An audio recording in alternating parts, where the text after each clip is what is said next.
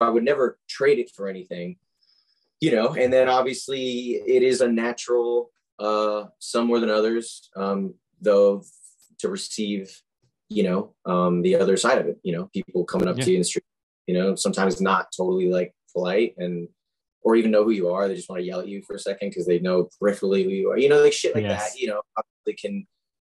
Who, who wouldn't be, you know, um, sort of affected by that, you know? Totally. and I like totally. to go out and do regular things, you know, and and I'm I don't like the idea of sacrificing that piece of my life, so I still just do it, and Okay. yeah, and I don't know, and you just kind of Yeah. it's great. Sometimes it's fun. Sometimes people come up and they're really cool, and you get a drink with them, and you're like, oh, you guys are awesome, you know.